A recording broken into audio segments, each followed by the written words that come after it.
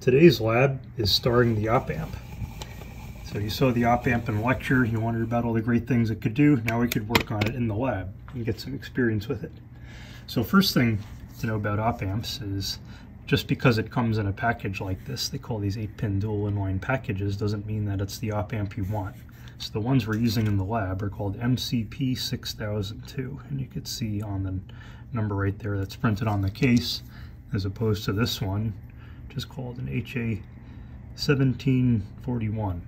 So that's a different kind of op amp, and they're all different types of devices that come in those packages. So always check to make sure you don't want to assume that you have the proper op amp and put the wrong thing in the circuit.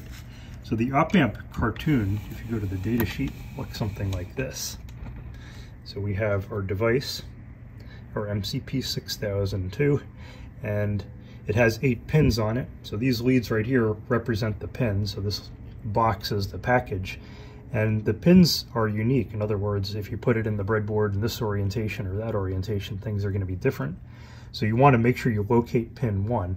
And you can see right by my thumb, there's that little shining dot right there. That's a glint of light shining in a little dot on the case. And there's also a notch right here.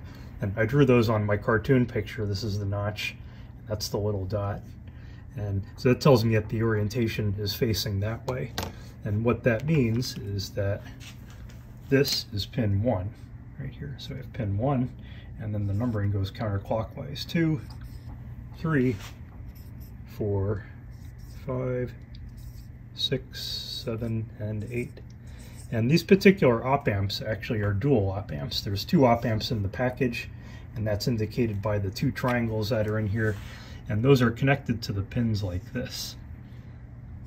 So that's our non-inverting, inverting input. So pin 3 goes to the non-inverting input, pin 2 goes to the inverting input, pin 1 is the output, and then on this op amp, which sometimes is called B, pin 6 is our inverting, pin 5 is our non-inverting. So there are two other pins on here. There's pin 8 and pin 4, and pin 8 is the VDD pin, which is volt voltage drain drain and we don't need to know what that means but that means that this is the pin that should have 5 volts on it. it should be positive 5 volts put on pin 8 then pin 4 is VSS or V source source and that one should have ground. So when we're connecting this device to our circuit we want to make sure that pins 4 and pins 8 have 5 volts and ground on them.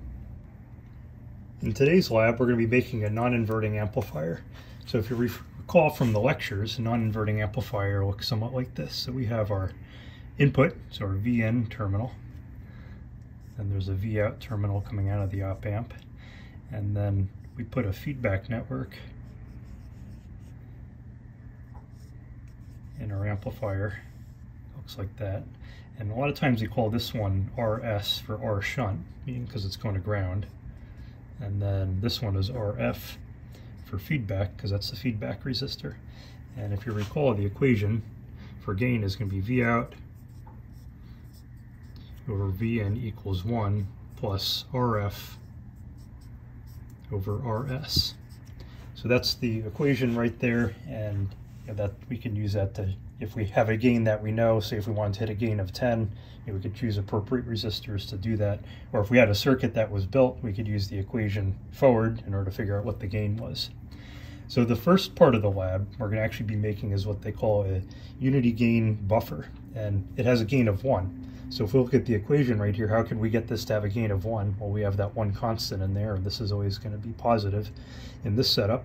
So we really need to make the RF over RS go to 0. So we know that if we take RF, or if we short circuit RF, that means that the resistance goes to 0. So basically just put a wire in there so RF is zero. And then if we take RS out of the circuit, in other words, it's an open circuit, that has an infinite resistance. So we just basically solved it right there. So we have zero in our feedback loop. And then our shunt resistor is now an open circuit. And so if we have zero over infinity, that equals zero plus one equals one. Okay, great. So we just made an amplifier that has a gain of one. So in other words, if I put one in, I get one on the output. If I put two in, I get two on the output. Well, what good is that? You're probably wondering. Well, imagine you're trying to measure an EKG, right? That's the electrical activity of your heart. So we'll put in a heart-shaped power supply, and we know that we can model most things as a Thevenin equivalent. So here's our heart-shaped circuit right there. We have one leads going to the ground.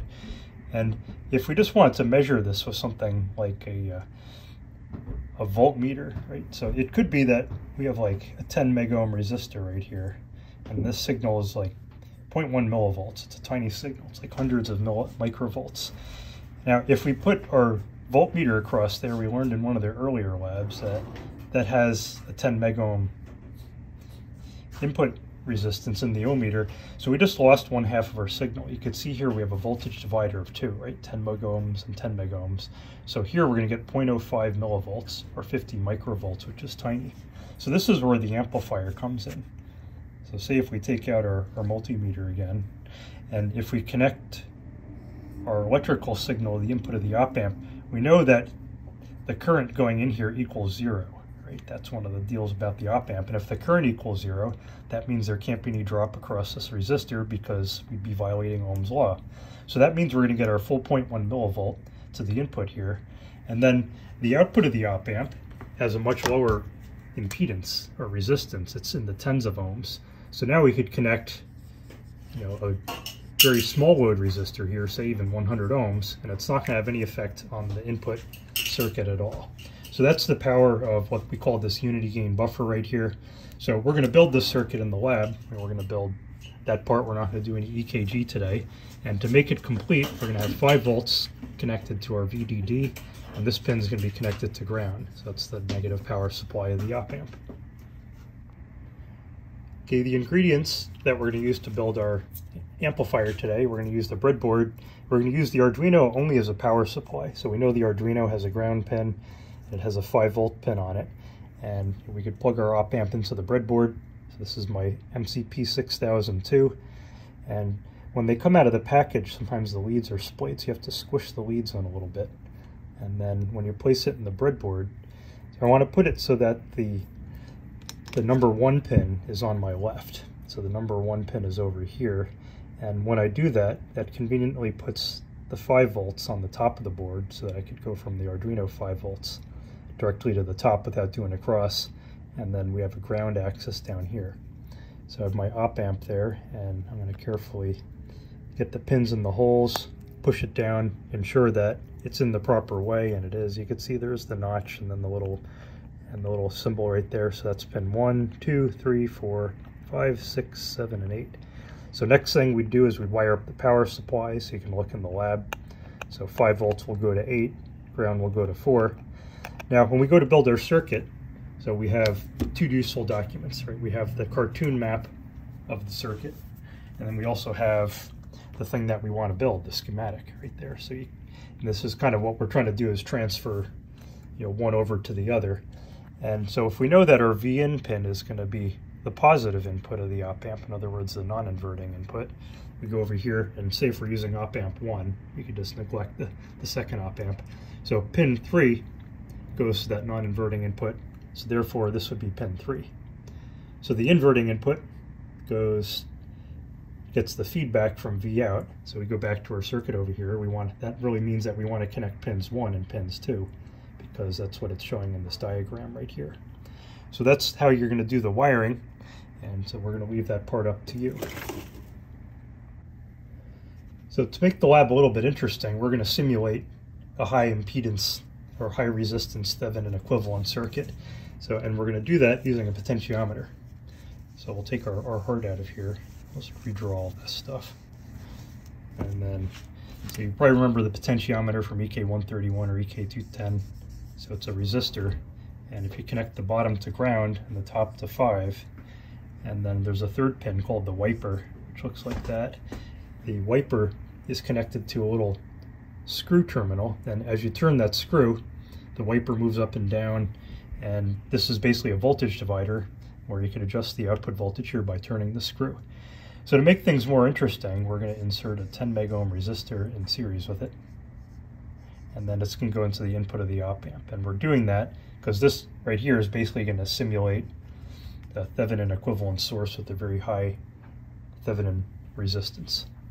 And then you're going to take some measurements. So then to spice things up a little bit, so we have our gain of 1.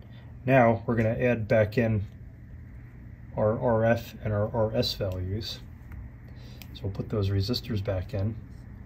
And we're going to ask you to choose a gain of approximately 3, calculate the values you need for RF and RS, and then modify your circuit so that you can get a gain and then you're going to verify that gain by measuring the output voltage for a series of different VNs. Like you'll turn the potentiometer a little bit as you're measuring the VN and say it'll be at 0.1 volt and then you'll measure the voltage on the output and maybe it'll be 2 volts or something. Turn up the potentiometer, get to 0.2 volts. The output will be another thing. So you'll end up making a table of those things in a spreadsheet. So you have like your VN, your V out, and then another one we're going to call V out over VN. And you know, you'll just do a series of voltages, maybe 0 0.1, 0 0.2, 0.3, figure out your outputs. Then you're going to divide the V out by V in and get some number. And then ultimately we're going to want to plot that in a graph. We're going to have a plot of V out on the vertical axis and V in on the horizontal axis, and you'll get some kind of line, and the slope of that line is going to be the gain that you calculated over here. So you're going to want to verify that. And it's going to work for a while, then you're going to notice something's going to happen to the slope, and we want you to figure out what's happening to the slope and explain it to us.